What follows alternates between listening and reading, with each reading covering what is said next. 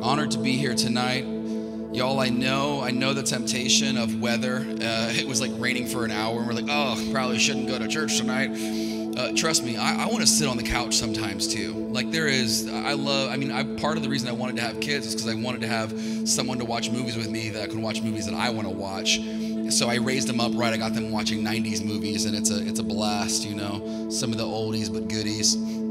They know all the movies that a lot of us grew up on. So, anyways, that's a whole other thing. But anyways, I wanted to watch some movies with my kids, but instead I sought the Lord, and I'm so thankful. I will say this: you will never regret getting in the presence of the Lord. Hear me on this, church. You will never regret getting in the presence of the Lord, but you will regret choosing not to go to be in the presence of the Lord. The times often, you ever uh, heard from your friends when you missed a church service and they're like, oh my gosh, the Lord showed up and people were getting wrecked. Like, dang it, I missed it. Anybody that ever happened to anybody? All right, yeah, me too. It was like every single time I ever missed a church service, was the day. I'll never forget this one time. They're like, Myles, you'll never believe it. They did an altar call, and this woman in the back row, she got out of her chair and she crawled her way up to the altar because she didn't feel worthy enough to stand. I was like, I missed the best parts. The ones that I was there for, though, was like when the person in the front was like, they had a demon and you're praying over them, they throw up all over the floor. Like, Myles, can you get the napkins? I'm like, sure, I'm here for this one. The demon puke napkins. They're real, okay? It happens. Oh, goodness. Well, y'all, um, I'm excited because, yes, tonight is church and we're going to get into the word, but I'm also excited for what today marks because starting tomorrow, what are we doing, y'all? Yeah, some excitement out there. We're doing a six day fast. And uh, if we could throw that graphic, oh, wow, you guys are faster than me. Goodness gracious. I want us to all join together for the next six days as we pray and fast. Who was here when uh, the prophet Frederick was here? Raise your hand, wave at me. Let me know who was here. Okay, just so I know who need to catch up. All right, awesome. Beautiful. So he came in and he was sharing a word from the Lord over this house, and he spoke something that I believe the Lord wants to do here because we've always prayed this prayer for Freedom House that it would not be about any man's name, it would not be about any church's name, but it would be about the name of Jesus and Jesus alone. And the greatest way to accomplish something like that is we get out of the way and the Lord shows up only in His way. And that looks like miracles, signs, wonders, healings. And this is the very thing that Frederick was prophesying over this house that these things were going to be coming out. Uh, and I'm not just going off of word of prophecy, I'm going off of the word of God.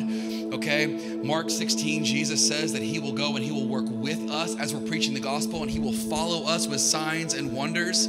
So he always, always confirms his word with his way. It's really beautiful how the Lord works. He doesn't let anybody second guess if it was him or if it was not.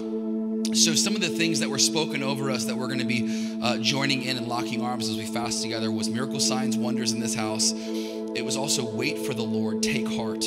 For six days, fast and pray for the ministry and training of miracle signs and wonders.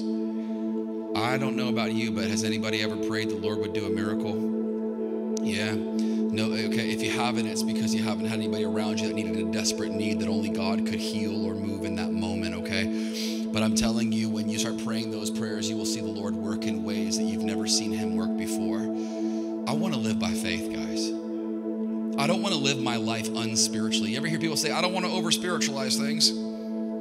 So, do you want to under spiritualize them? You want more fleshly than spiritual? I don't know about you. I want to over spiritualize everything. We are in a spiritual warfare. It's not against flesh and blood, but against principalities, powers, and spirits. I want to make sure that I am doing and following the Lord the way that He wants us to follow. And I believe that there is something powerful about when the Lord does something that only has His name on it. Because when somebody gets healed, it doesn't matter who touched and prayed, it matters that God touched and they got healed. I believe we're going to see that happening here. And, and, a couple of things that were spoken was we are not fasting for the church, but for what the Lord is going to do. In other words, we are not fasting for our benefit, but for His glory. Hear me on this, church. Too many times when we start a fast, people say, Well, what are you fasting for? I'll tell you what I'm not fasting for myself. I'm fasting for His glory. Okay, if I was fasting for myself, I would be eating every day, and that wouldn't be a fast, it would be eating. You guys with me? It's not for ourselves, it's less of ourselves. He said the Lord is going to speak sudden things. People are going to come out of this fast and they are going to preach. The Lord is going to do things, and our only response will be to preach about His goodness. How many of you want to see the Lord show up in a way that it's going to cause you to talk about how good He is? Yeah? A few of you? Come on, anybody else? How many of you want to see and taste the goodness of the Lord? All right, we're gonna have to wake up. I know it's cloudy today, guys. Get over it, all right? It's November and it happens. How many of you want to see the goodness of the Lord in the land of the living? Hallelujah! We need some shouters up in this place. Thank you. Anybody else? Okay. Thank you. Oh, goodness. Thank you. Answer prayer. I'm fasting for a louder church. Best way to start a fast communion because you're eating. Go for it. Okay? Take a bite, take a sip. The word that was spoken was change. The Lord is going to change it.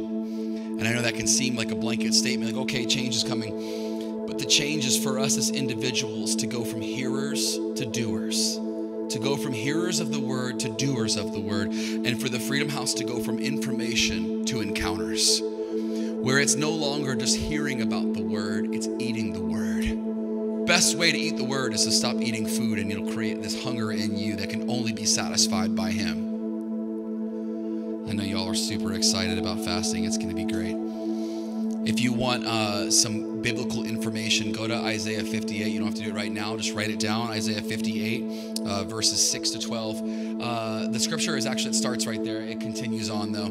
Uh, if you guys are going to probably get a text later tonight, with this graphic because I want everybody to have this. Uh, if you're like, how are you going to text me? Go ahead and text the word freedom to 972 833 0003. It'll come up later at the end of the night. Um, but if you text the word freedom to that, you'll be put into our database just to hear about what's going on, and this text will be sent to you. Uh, and if you need that number or that graphic later on, just see us at the front table and we'll take care of you and get going. But one thing that was spoken over this house was that the Lord is going to bring emotional, physical, and spiritual healing. How many of you guys want that? You ever had a low day? You ever had a low week? A low year? A low five years? Yeah.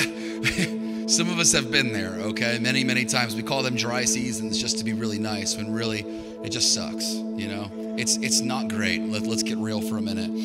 Um, but I believe I believe that as we partner together in unity as a church and we say no to our flesh for six days, it was almost like I saw it where was like every day was like the next thing the Lord was going to reward, reward, reward. Every day that I pressed on. Okay, I'm not saying everything is tied to fasting,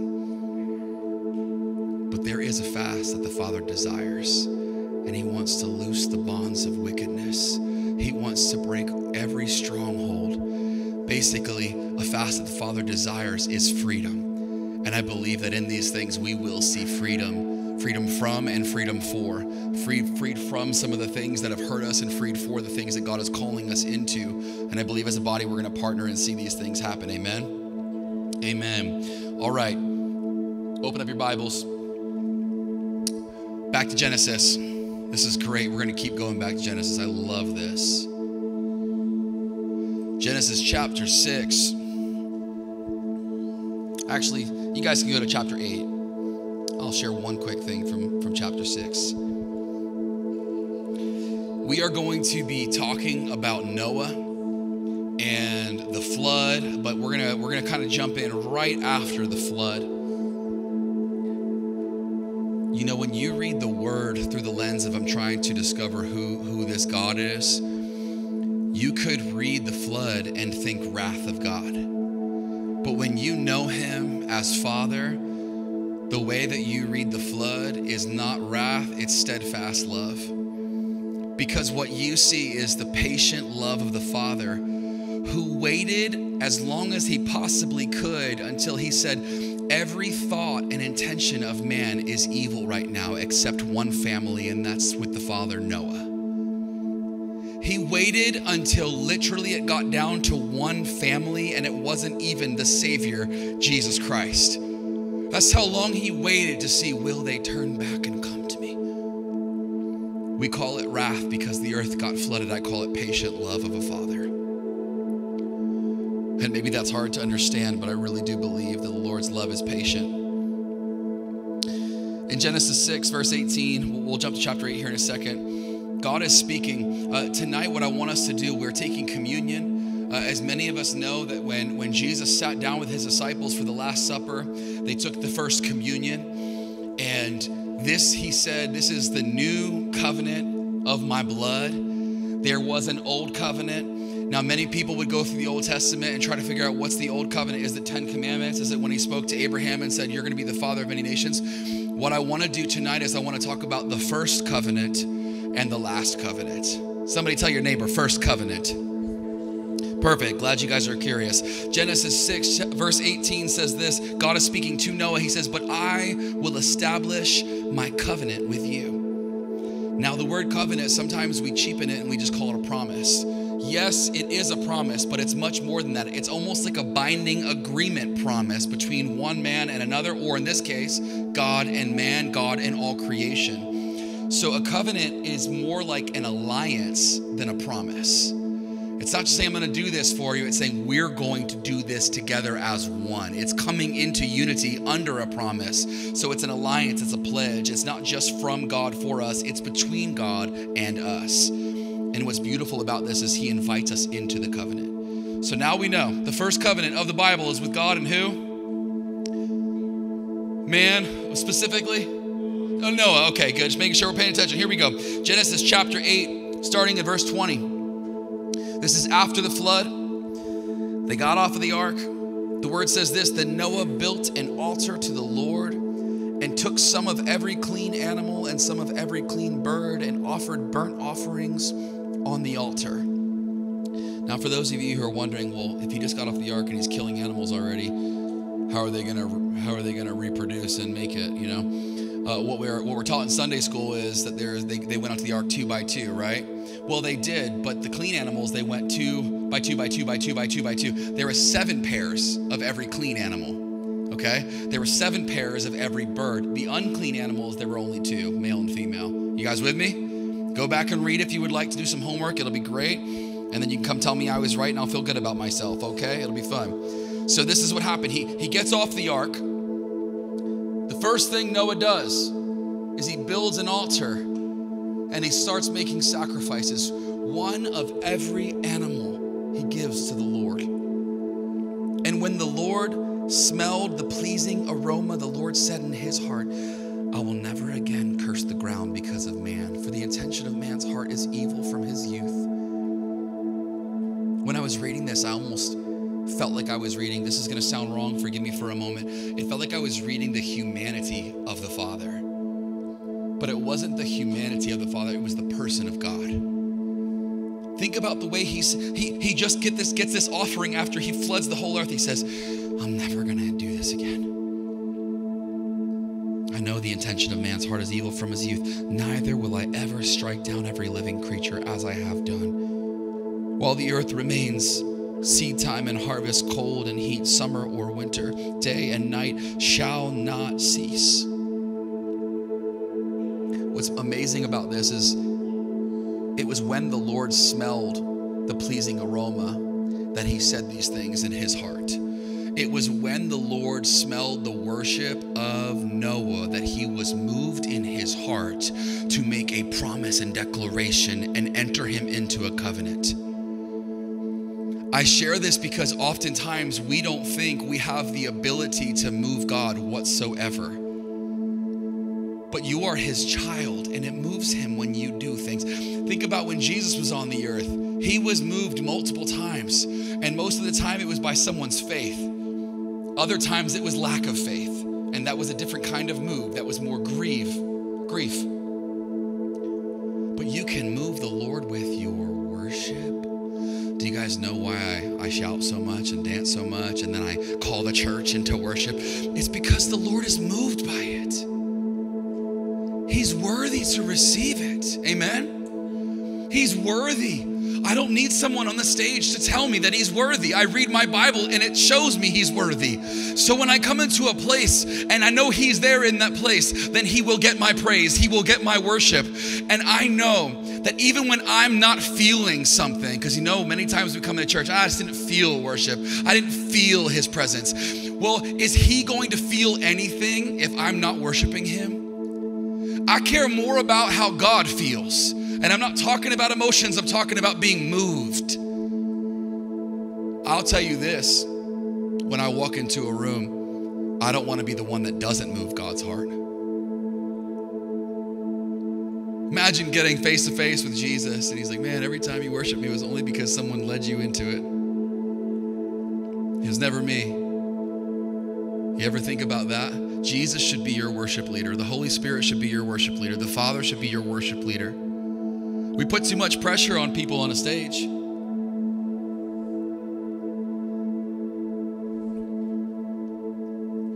Let's keep reading. Chapter 9. And God blessed Noah and his sons and said to them, Be fruitful and multiply and fill the earth. Sound familiar?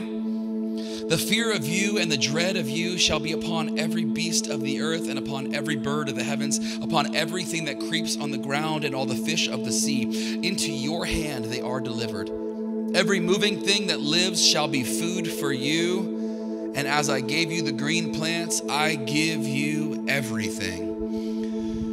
Everybody that loves meat should shout amen right there. All right, y'all see you at Hutchins after this. It'll be great. Thank God for brisket. See, what's amazing here is that what's happening is he gets off the ark, and not only is God reestablishing the first command, which was be fruitful and multiply, but he's also giving us more. Whereas Adam and Eve, no wonder they messed up and sinned. They were vegetarians. I felt so bad for them. They were just eating fruit. I would have been angry too. I'd have been like, well, give me that fruit because I haven't had that one yet. Maybe it tastes like meat. Nope, that one doesn't either. Now the snake comes out. Oh, okay. The sin of humanity was because of vegetarian. I'm just kidding. That's not true. If you're a vegetarian, God bless you. It's okay. You're, you're good. I still love you. But you're eating my food's food and you need to stop, okay? But here, God takes it one step further. He's like, hey, I'm going to reestablish my first command. And on top of that, I'm going to say, yes, you can eat the fruit of the land, but also you can eat the animals too. Whew. Amen. Thank you, Jesus. Let's move on. It doesn't make sense, by the way, why, why they get more after the whole world was evil. And now all of a sudden God's like, I'm going to give you something more. That's called grace. When you receive what you did not earn or work for, it's called grace. God's kindness that was unmerited, unearned, and undeserved. This is what he shows to Noah. Hey, this time around, I'm going to give you more. Why? Because I love you. Literally, that's the only reason. You didn't earn it, I'm giving it to you. That's why it's a free gift of God. So let's move down, stay in chapter 9. We're going to go to move down to verse 8, get some clarity here on the covenant. It says, Then God said to Noah and to his sons with him, Behold, I establish my covenant with you and your offspring after you, and with every living creature that is with you, the birds, the livestock, and every beast of the earth with you, as many as came out of the ark. It is for every beast of the earth. I establish my covenant with you that never again shall all flesh be cut off by the waters of the flood. And never again shall there be a flood to destroy the earth. And God said, This is the sign of the covenant that I make between me and you and every living creature that is with you for all future generations. I have set my bow in the cloud, or my rainbow in the cloud, that it shall be a sign of the covenant between me and the earth. When I bring clouds over the earth and the bow is seen in the clouds, I will remember my covenant that is between me and you and every living creature of all flesh. And the waters shall never again become a flood to destroy all flesh. When the bow is in the clouds, I will see it and remember the everlasting covenant between God and every living creature of all flesh that is on the earth. God said to Noah, This is the sign of the covenant that I have established between me and all flesh that is on the earth.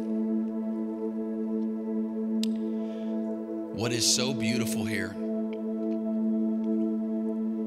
is that oftentimes we think of the rainbow, like, yeah, that's God's promise. So it's like for us, it's only for us, right? We see the rainbow And what do we think? Okay, there's not some huge tsunami coming to crush us and drown the whole earth again. Thank you, Jesus. Every time I see that rainbow, I can just know there's not going to be a world destruction, apocalyptic moment that's about to happen.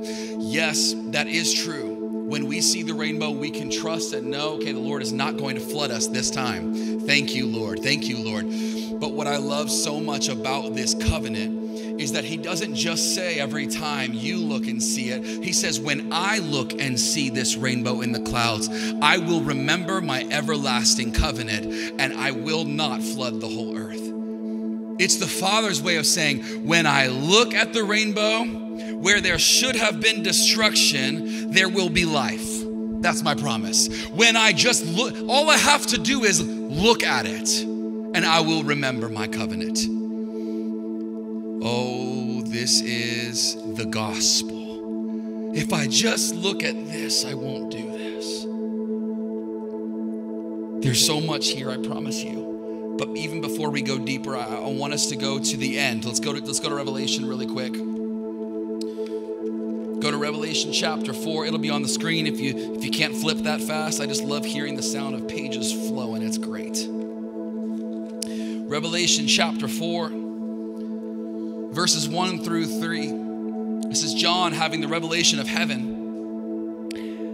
He says this, after this I looked and behold a door standing open in heaven. And the first voice which I had heard speaking to me like a trumpet said, and this is the voice of Jesus, Come up here and I will show you what must take place after this. At once I was in the Spirit, and behold, a throne stood in heaven, with one seated on the throne. And he who sat there had the appearance of jasper and carnelian, and around the throne was what? A rainbow that had the appearance of an emerald. You see, when God said this is an everlasting covenant, He didn't say that lightly. He was saying, In my throne room where I reside at all times, there is always a rainbow and it's around, meaning every direction I look, I will see the rainbow. And when I see the rainbow, I will remember my everlasting covenant with my children that where there should be death, I will bring life. Where there should be destruction, I will restore. This is the gospel of Jesus right here in front of our faces. It's so everlasting. Look, go even further. Let's go to Revelation 21. Come on, we're almost in the definitions of the words. What's it called? The concordance? Yeah, okay. Goodness gracious. Glossary. Yeah, thank you. I don't know. One of those two. Revelation 21. Everlasting covenant. Ready? Verse 1. Then I saw a new heaven and a new earth, for the first heaven and the first earth had passed away, and the sea was no more. I know all you ocean lovers. Maybe you picture heaven with an epic ocean. I don't know. But the word says the sea was no more. I find this so interesting because what the Lord is doing is He's saying, in the new heaven and the new earth, there is no sea, meaning there's no more fear that one day I will be getting mad at this heaven that I've created and flood it. There's not even a sea to do it with. I find this so interesting that even in heaven, the Lord has a rainbow surrounding him at all times so that he will never forget his covenant, as if God would forget anything anyway. He places it there so that we can see and hear and know God remembers his covenants. Where I should have been destroyed, God remembers his covenant and says, There will be life. Now let's make it real. Go back again to the Old Testament. Go to Numbers. Numbers chapter 21.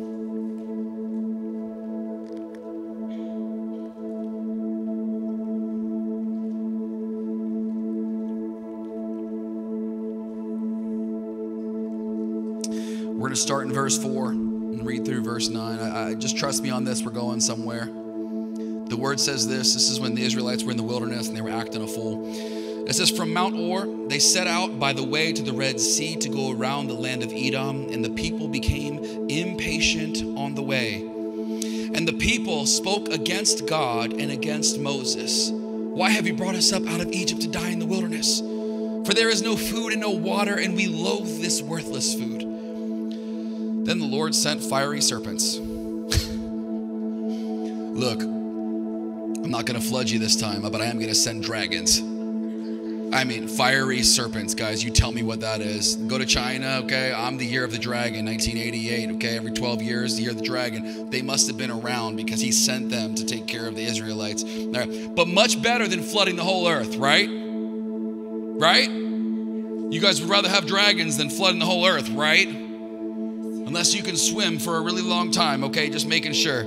Okay, I don't know, guys, they're probably uh, poisonous snakes, okay? They called them fiery, they had fiery mouths. But I think dragons are cooler, okay? We're gonna go there. And every nerd said amen. Thank you. So the Lord sent dragons among the people, and they bit the people, so that many people of Israel died. And the people came to Moses and said, We have sinned. Oh, see, here's the difference.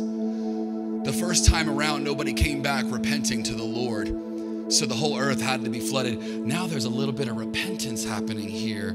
Oh, sometimes the Lord will allow things to happen in your life to lead you right back to Him. Why would Satan do this? And what if it was the Lord allowing this thing to get you right back into His presence? Sometimes you should thank the Lord for hard times because it leads you right into Him. They said, We have sinned, for we have spoken against the Lord and against you. They even recognized what they did. They had some self awareness. This is huge. Pray to the Lord that he may take away the serpents from us. Oh, they were snakes, not dragons. Sorry, guys. So Moses prayed for the people. And the Lord said to Moses, Make a fiery serpent and set it on a pole, and everyone who is bitten, when he sees it, shall live. So Moses made a bronze serpent, set it on a pole, and if a serpent bit anyone, he would just look at it and live. Do you see the covenants and the promises that God makes with his people? He says, Look, you don't got to do much to get back to me if you would just look at it. The rainbow, if I just look at it, I'll remember and I'll give you life and I won't destroy. The serpents, you're going to die from the poison if you just look at it. Here's where it gets really real. Go to John chapter 3 with me. Starting in verse 14.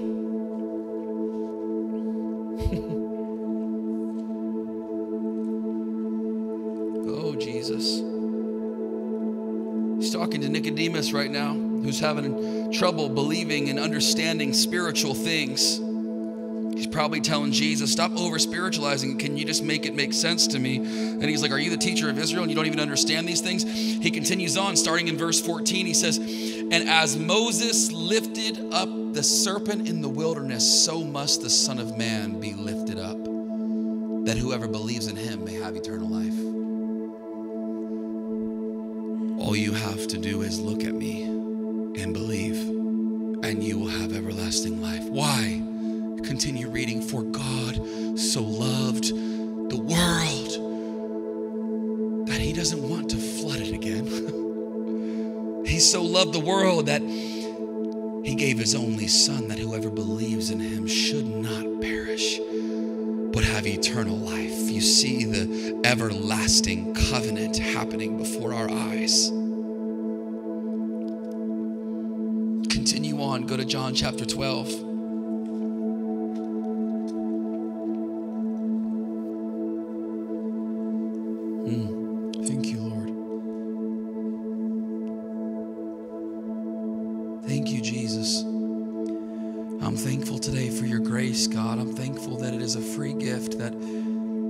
My works could have gotten it because I could not have figured out how to work so hard to figure out how to get your grace, but you gave it to me.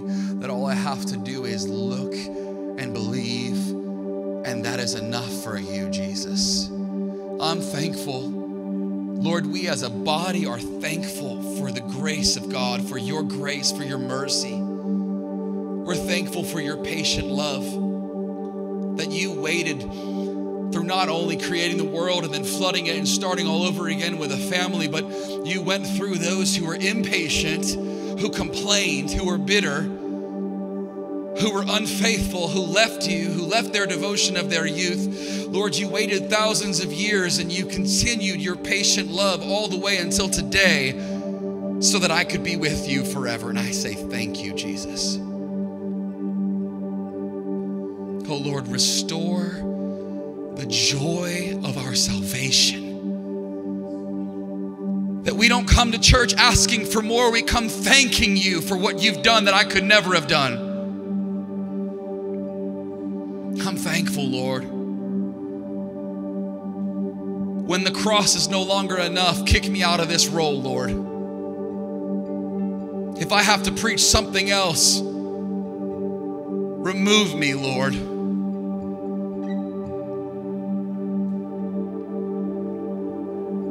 We are thankful. We are thankful. We are thankful. Let us stop complaining about what we don't have. Oh, the food's not good enough in the wilderness. We're, we're mad about No, let us stop complaining about what we don't have and start thanking you for the breath of life that is in our bodies as we breathe right here in this place. Let us thank you for your presence that also lives within us right here in this place. That it no longer requires us going and visiting a temple, but Lord, you said your bodies are a temple and they've been bought at a price. And now I've given you my Holy Spirit to live within you. Now you are my temple. So wherever you go, I'm with you. Thank you, Father. Thank you, Lord.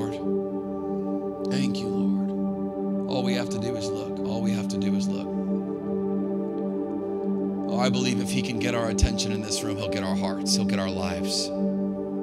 If his, if his everlasting covenant could get our attention, he'll get my everlasting attention. He'll get it. Jesus says this in John 12, verses 31 and 32. He says, Now is the judgment of this world. Now the ruler of this world will be cast out. And I, when I am lifted up from the earth, will draw all people to myself. Come on. God sees the world, He sees all of its evil, and He says, If I just set a rainbow up and I see it, I'll remember my covenant with my people, that I will not destroy them. Jesus says, Hey, if, if I'm lifted up, and how did Jesus go back to heaven when He was taken up? Riding on a cloud, just like a rainbow. I mean, goodness gracious, how's He coming back? The same way that he went into heaven. You see, the Lord is saying, When I am lifted up, the eternal, everlasting covenant is seen by all. And when I'm lifted up, I'll draw all people back to myself because that's his heart from beginning to end. The first covenant to the last covenant. His desire is to redeem and restore and bring back his people to be with him forever and ever and ever. And I'm not talking about awaiting heaven, I'm talking about living heaven with the presence of the Lord already dwelling within us. Because eternal life doesn't start when you die. Eternal life is when, yeah, when your flesh dies and you become alive in Christ Jesus, but that, that already happened for many of you in this room. Eternal life is this knowing the one true God and Jesus Christ, whom you sent. It starts with knowing and intimacy with the Lord. This is the everlasting covenant. Here's what's powerful about this.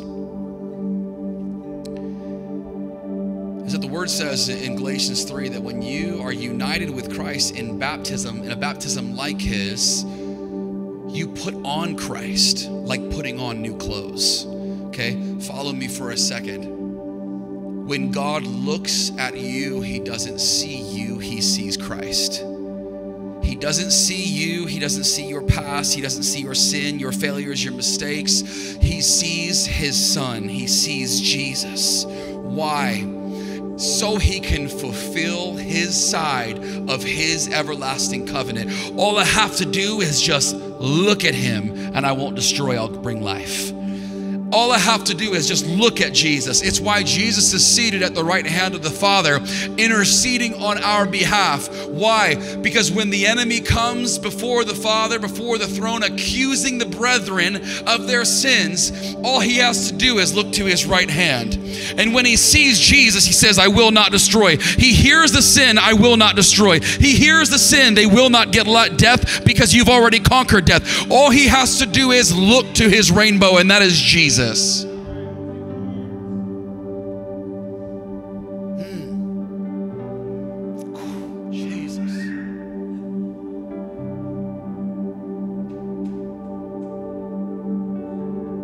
I used to get mad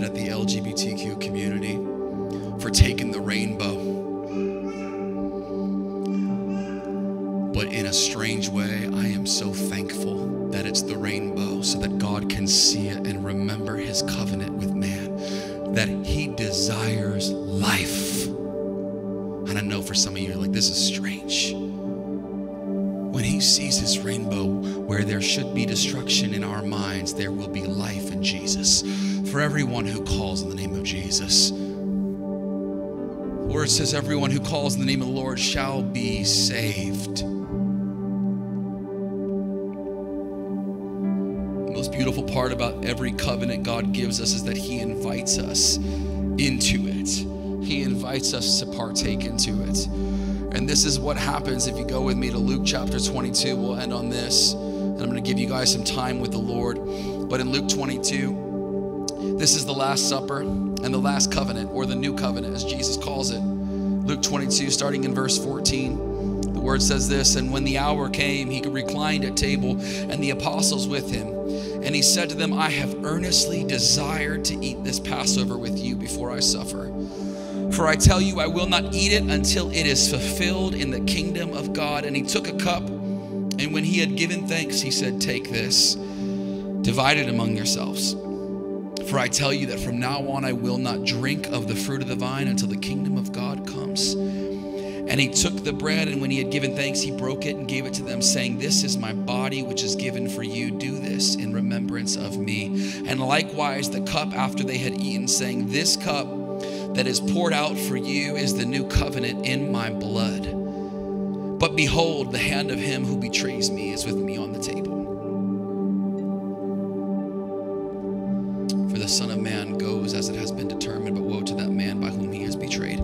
Jesus he gives them the bread of his, his body, that gives them the, the cup, the, the wine, which is his blood. And he said, This is poured out for you. It's the new covenant in my blood. And this is so that we can be too covered by the blood of Jesus. This is why the word says we enter the holy places by the blood of Jesus and that he opens up the curtain for us, which is his flesh. We come through him so that we can look like him, so that when God looks to us, he sees Jesus, not us so that when I come into his presence, I don't have to be coming in by my guilt and by my shame, but by his blood and his gospel and his covenant. This is good news for everyone who calls in the name of the Lord and believes.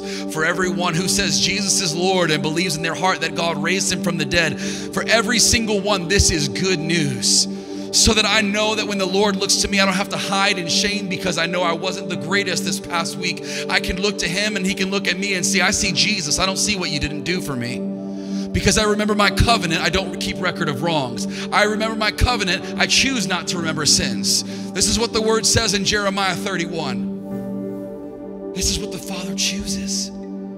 So now, when He was pouring out this covenant of his blood, he was saying, I'm not just pouring it out, I'm covering you with this.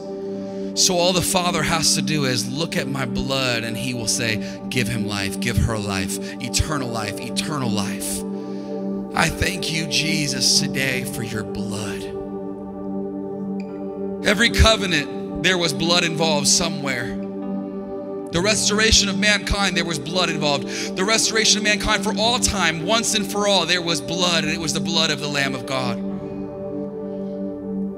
But we say, Thank you, Jesus. Maybe if we could keep our eyes on the cross and what you did there, we would stop worrying about what we don't have or where we've been offended or where we've been hurt by man, and we'd start saying, I've got all I need.